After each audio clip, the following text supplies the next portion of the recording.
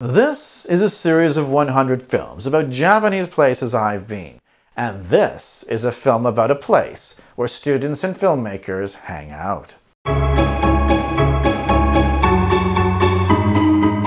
Shimokitazawa is a neighborhood in Setagaya Ward, Tokyo Prefecture, in the Kanto region, the area around Tokyo, on the island of Honshu in eastern Japan. It's serviced by the Odakyu line and the Keio Inokashira line. The first time I went here was the first time I visited here was my second year in Japan, and although I'd passed through it many times traveling on the Odakyu line, I never thought of stopping there because the train station looked like it was falling apart. Only recently have they gotten around to renovating it, and I heard from a coworker that Shimokita was a trendy neighborhood, so one Sunday afternoon, I paid a visit. The first thing I noticed is that the street layout is incomprehensible you're going to get lost, even the train station signage, which is confusing. And that's saying something. In Tokyo, one thing they're expert at is leading you along with arrows and signs. It's also really crowded. Lots of university students go there to hang out, and it's a major interchange for two private train lines in Tokyo, the Odakyu and Inokashira lines. Lots of film industry types live in the uh, they live along the Odakyu line as well, Toho Studios is just south of Seijo Gakuen Mae Station. Naka. Shimokitazawa is well known for its vintage clothing stores. The Japanese people are hired to search charity donations in places like Toronto and Miami. Their best finds are sent back to stores in this neighborhood. Sizing could be an issue as the market for larger garments isn't that robust. Naka.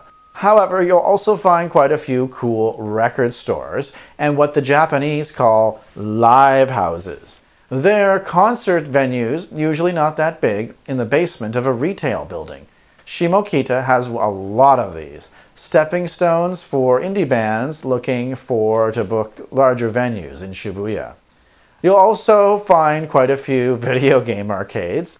Sure, they died out in North America, but not in Japan. Shimokitazawa has so many restaurants, it's a bit overwhelming. It's home to several Okinawan-style establishments, all serving traditional Okinawan dishes that are mostly untried by the majority of the Japanese public.